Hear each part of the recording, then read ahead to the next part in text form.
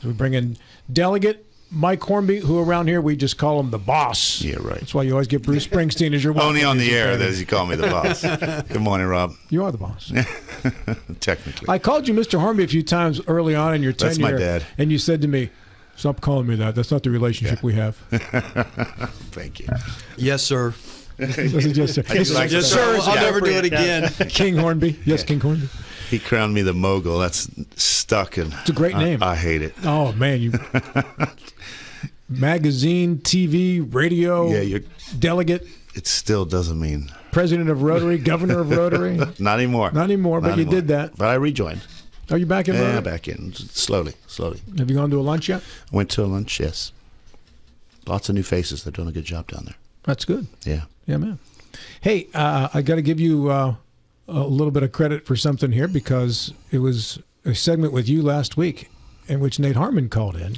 We started talking about school security. As Nate said, he kicked a hornet's nest, but it looks like, uh, especially because of Eddie Gokenauer and his uh, involvement in this, that we finally maybe get a little action. Well, I, I think, uh, and I think you know, Nate made a good point. He he he called in. We were talking. Hardy and I have been been trying to do this resource officer thing for the, the last year. Um, Nate called in, expressed his concerns, and whether he went through the right channels or not, that doesn't seem. It seems to he, he's bypassed the channels, and everybody's talking about it. We might get something done. Uh, I had a very productive meeting with the superintendent on Friday um, regarding resource officers as well as uh, some other issues. Um, I've always enjoyed talking to him, and he's always been open. Uh, during session, I was able to call him and, and, and get his input.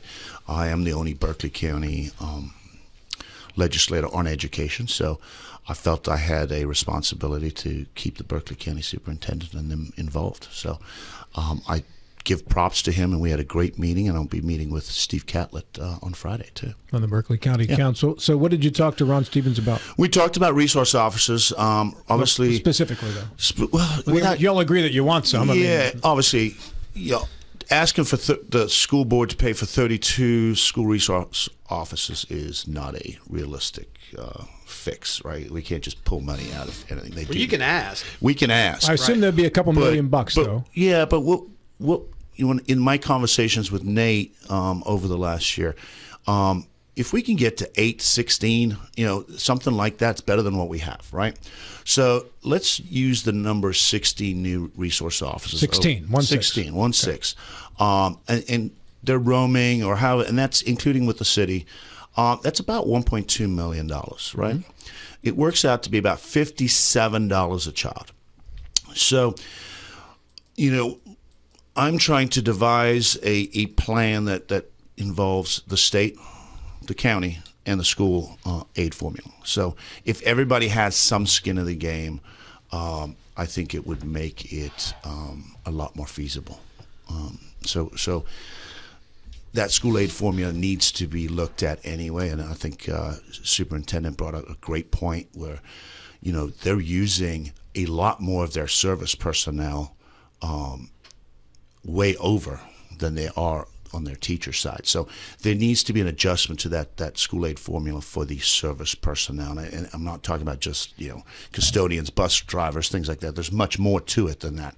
Um, so I think that's something we need to start looking into on a very serious level. That that school aid formula has not been changed in a long time, and times are different. Um, we used to have one teacher in the classroom. Um, you know, special needs classes have way more than one. Um, and our special needs kids have grown, that population has grown Dramatically. dramatically over the last 20, 30 years. It seems like a cheaper solution or a more immediate solution if we can designate, train, and arm teachers for a pay pay bump or, or administrators or whatever to become de facto SROs. So we did pass at, in education. We passed the teacher carry um, bill. It didn't get um, out of judiciary. I, I think it. I think it will in the next session. Um, and there was a lot of good argument, and we did also pass the Guardian um, program. I think we're really going to work on that Guardian program because if you could look at a retired officer or position that would like to come in, we don't have to pay them the full amount, and they could also be maybe volunteers, even though they've gone through all the training that a real police officer has gone through. And I think th- the big distinction is a school resource officer is a lot different to a regular police officer. The, the, the position is a lot different. Um, it's a lot more interactive with kids. You're building respect. You're you're trying to eye those issues out before they become an issue. Um, so there's lots of ideas out there, and I think um, we're exploring all of them. And I, I, really respect Berkeley County that we're looking ahead. Um, if we can get something done on a state level, great. But let's move ahead in Berkeley County and try and get this done. And how about the, the, in terms of hardening the schools, the physical facilities? Super expensive, right? Yeah. Um, but it's something that, that needs to be looked at. Um, I'm no professional police officer or anything, but I can go to my kid's school and I can see it's a beautiful school, but there's a lot of glass, right? What are we going to do? We're going to put all bulletproof glass on 700 feet of school or something like that. I think that's something they are working on. I know our school levy um, is just starting to kick in. They can do the bonds, but that's going to be happening over the next few years. I don't think that's a one time we're going to fix it this month. Um, so I think you have to I think you have to give the, the school board a little bit of uh, patience when it comes to hardening, to truly harden every entry. Well, and also when you get to windows and such, as a former firefighter, I will yeah. tell you those windows are important when it comes time to get out of a building or sometimes to get into a building. Yeah. Um, so. And, and I, again, I don't pretend to be a professional at any of this. I just know that there are people working on it, but in the meantime, we can do something with school resource officers mm-hmm. and with this Guardian program, which I think would, would go very well in West Virginia. Matt Harvey. I, I was just thinking about, you know, there, there's going to have to be an all in approach because, or all alternatives on the table because it's it's really becoming challenging to get certified officers yeah. in, in a full department now. And if you have to, you know, yeah, devote I mean, if, that to an SRO, yeah, you're taking them off the street. Yeah, if we if we if we suddenly found a pile of money and we said, hey, Nate, here's 18 school resource officer positions. I don't know if he'd be able to fill them right this second, right? It's going to have to be a gradual approach as we grow. Um, I there are, um, and Nate has been talking. About. Maybe retired officer. I think that's the direction yeah. that, that you would want to lean, where um, retired officer, retired uh, veterans, you know, something like that, where it, it's not so much of a full time role, because they are they only have to be there during school, right? When the kids are, are there. Um, and maybe on a rotating basis between the schools to. Yeah, I think um, there's lots of ideas out there, Matt, and I think just coming up with um, the idea, and I love the fact that Nate and, and Eddie, and I think Eddie's great to lead this because he's got that emergency background um, too. So having him on board um, and having the superintendent on board for them to talk about these emergency management things, practice things like that. I think is it. That's a great meeting to have heard it happen within a week of something happening here last, from what last week. Yeah, and Eddie uh, put together some top people from departments who have skin in the game on this one too. It, it, it, it seemed to me like every yeah. category was included in this meeting and, and he came, sure from, he came from that place, so he knows all the, yeah. the, the, people that are, are, are, important to, to bring to the table. So I, I thought that was fantastic on his part. Uh, I've got to give him credit too. He also got us into the uh, regional jails when we did our visit there. That was eye opening, um, and I didn't realize how much of a crisis or emergency sure. that was. So. Yeah, and you have you have issues, uh, and I think John or Matt made the point you could or maybe it was you. You, you could get eight, 16, 18 resource officers money approved, but can you hire 16, 18 resource officers yeah, or, gonna, officers, period, who can be trained to be resource yeah, officers? you're going to hire 18 at a time. I, I think uh, you need to grow this. It's hard to find help. Yeah, I think you need to grow this um, organically, if you will. You know. It's the same as the, the ERJ and the prisons around the state. If you suddenly – had enough money to give everybody a raise, uh, maybe everybody who works in the jail makes hundred thousand dollars a year. Would you have enough applicants for oh. that position to fill? I mean, they have they have a position that they're, they're, basically their COO position has been open. Their business manager um, has been open for two years. It's been over. It's a decent paying. I mean, it doesn't pay a lot, but it's a decent paying job. But it's been open for two years we need to look at that and go, well, maybe we don't need that. We need something else. We need to give the, the corrections officers more, more money. Um, and they just don't have the ability to move out, move the money around within their position. I was getting filling up the tank the other day at a service station, put it in the old ways, and I saw this ad for different positions that were available at this place, including one that paid eighty thousand plus as a as a manager. Did you think about it? he, he, he can't take the pay cut.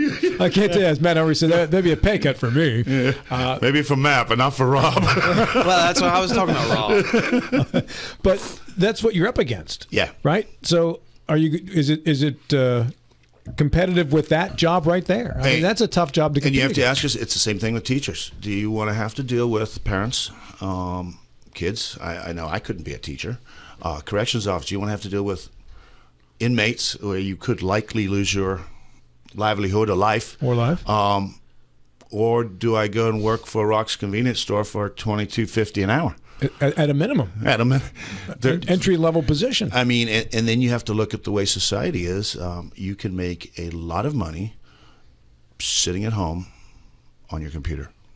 There's not. I'm writing books. I'm not just sitting at home playing He on my looked at you, computer. Gilstrap. just just saying there are there are alternative ways that people have found to make money. I mean, for goodness sakes, people are making forty, fifty thousand dollars a month posting pictures of their feet. Um, that still blows me away. I, I- I'm just it's Is out that a there. real thing? That is a real thing. People are making you know TikTok is making millionaires all over uh, the world from posting random videos of 18 seconds. If you get enough, get enough followers. Um, it, it's changed, right? So, Oh, yeah. do you want to go and work for eight hours a day, or do you want to sit at home and post pictures of your feet? There's a- I mean, it's, a- it's a reality. I, I would That's the rather truth, go to man. work. I don't want to post. yeah, I don't. Want, nobody wants to see my feet anyway. Harvey, you're not going to make a million dollars a year posting pictures of your No, feet. no, I'll, I'll probably have to give it out. Yeah, you're going to be the one subscribing, buddy. Once you're a judge, maybe. But you know, in those positions, it, it's not. Judge feet. Judge feet. I'm Judge Harvey. prosecutor feet. corrections officers and the and police officers, firefighters, obviously they want to be paid, um, but it's more than that. I mean, my 15 years as a volunteer firefighter, and you get very passionate about it because you know it's service to community and what have you. So there are people who are cut out for those jobs, and it would be nice to compensate them. But I don't think you would ever. The fact that you can get you know eighty thousand dollars here versus a decent sixty-five or seventy thousand as as a cop Right. there's that's not real parity. But I think at the same time, our volunteerism has gone down over the last couple of decades. I mean, we, That's probably true. And we've seen in West Virginia. Uh, listen, we are blessed up here, but you know, in some parts of the state, they have only volunteer fire departments, Yeah. and they are losing um, departments by the dozens each year, which. I think Berkeley County is the only one that has professional or, or paid. I think Jefferson, Berkeley, um, and I, maybe uh, uh, Charleston, you know, things like that. Jefferson does not. They, Yeah, they have they they have- have, their EMS that are dual trained. Gotcha. Uh, yeah, I mean, it's it's one of those things where we have different problems. Like the EMS bill that died on the last day of session, it was so important to so many people down there. Where for us, we were going, well, you know, it's six hundred thousand dollars coming, but you know, it doesn't really. Um, it wasn't as important as so many other bills that we were, we were on. So. Well, look, do you think that um, with the Eastern Regional Jail having a seventy percent vacancy rate in their staff, do you think that could be the Trojan horse to get locality pay?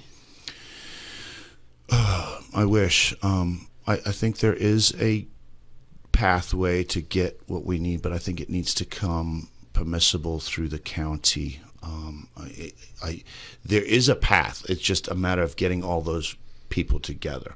Um, the the issue is the regional jails are throughout, and they're all the same. They're all seventy percent capacity. Like I, I heard it was. I was read it was like forty percent in the other well, places, forty the- to fifty. From what I'm hearing, it's just as bad. We just happen to have a very busy jail. I mean, we have a busy jail. The prison down at uh, uh, Moundsville, I think, is where they're having just as much issues. Um, it, it's it, it's a systemic problem that we've haven't found the answer. That's a powder keg. It's not a, It- a problem. It's a powder keg. Yeah, it's going to I- explode. I was sitting up in the pod, um, overlooking the cells, and there was two uh, guardsmen in there, and they've got eight pods to watch, and it was crazy. I couldn't believe. Out of control inmates. No, the, the inmates were doing inmate stuff, right? We were there. We were overlooking. Uh, I think uh, the better inmates, not the, the ones that aren't um, violent offenders, and it was like three pods of women and then um,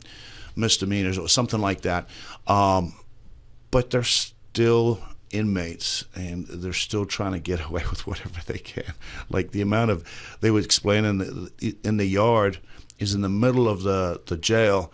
It's got a grated roof on it so they can get out and get get outside. But people like slingshotting drugs like hundreds of yards into this yard and they have to check the roof. They they don't have people to do maintenance. It's it's an issue. It's an issue that, that we need to find a solution to now. And I, it, I just, it, with, I hopefully we, we, we attack that sooner rather than later. So Matt, there's a question for you. Is there room for reform? What percentage of, no, you're not gonna, it's not a hard percentage, but are there a good number of prisoners, inmates incarcerated who really could have ankle monitors and be at home and not have to be in the in, in the jail. Non-violent ones, of Yeah. course. Well, I, I can speak to Jefferson County, and I've m- mentioned it. Like that is something that that that I personally do on a weekly basis is review the jail list with, that we get weekly, and um, there's not a lot of wiggle room. It's it's really violent criminals, or it's somebody that's that's violated uh, probation or, par- or on a parole hold, or they've failed to show up for a court. Like it's just bigger a bigger issue than than a little bit of reform because we they, they the legislature's done a good job with with modifying bail laws uh, to to allow more people to that on the lower level misdemeanors nonviolent Yeah, I mean the Berkeley County Day Report. Center. Yeah. we're, we're doing all the, the right things, but you know, I, maybe maybe I'm not allowed to say this, but maybe privacy, privatization is the way to go at this point. It just seems like we don't have the answers at the state level. Uh, you know, what are, what are we doing? We may, we may need to bring some experts in here, and that's just uh, you know I, I can't think of un, unless you're going to say, hey, listen, we're going to give every guard seventy five thousand. Well, you know, I'm not sure that that would I don't. Think, I don't think it would. I don't think throwing the money at it is going to make people go. Yeah, this I, is a I mean it will help obviously it will improve things but I, I don't know if that money is just the only answer here Again, we go back to the beginning, which is you're competing against other ways to make a amount of money that's close to that that doesn't have anywhere near the danger And, that that would. and I think uh, one of the things that was that was brought up was we're training officers, uh, corrections officers, but as soon as they're trained, they can move to Virginia or Maryland, right? so we're doing all the training for them. Then they go, but we don't have a reciprocating where if you trained in Virginia, you can't just come here. You got to go through training again. So maybe and, and we the need- money's not going to be as good. Well, may, but at the same time, maybe our way of life is better, and that's what. If we could reciprocate and say, "Listen, if you're trained in Virginia, Yeah, come why on, why come on we over." well maybe That's somebody's got something that the law. That's something that we can attack this session. Is say, "Listen, we can change that where." A corrections officer who is trained in Virginia, Maryland, or any of the surrounding uh, counties uh, or states, should I say, um, can come to us, and that might help with the issue. And that was brought up in, in our in our visit with the uh, with the ERJ. So did you talk to the guardsmen who are standing in? We talked to guardsmen. We talked to What's their attitude like? You know, the guardsmen are, are very upbeat. It wasn't. I I don't think it was an issue for them so much. It wasn't what they signed up for. But they are not down on the floor, right? So they are always in a position where they beh- they are either behind a computer, behind a uh, locked door, locked thing. They're, they're not walking prisoners or thing. That's all the corrections officers. Um, and that's another issue. Is the corrections officers they don't get to do any other jobs now. They only get to be on the floor, so that's very taxing. So now, you know they don't get to go up in the in, in the tower. Uh, but we talked to the the warden, the um, assistant warden. We talked to some some guards. Uh, that's a legal issue though that the guard can't that- be in contact with the and we get it because they they aren't trained as corrections officers. So it, it's one of those things where we're utilizing the guard in the way we can. Um, they don't seem to hate it. Um, you know, the people I talked to weren't like, "Hey, this this is terrible." They, they feel like they're performing um, the duty that they've signed up for. They're helping the state.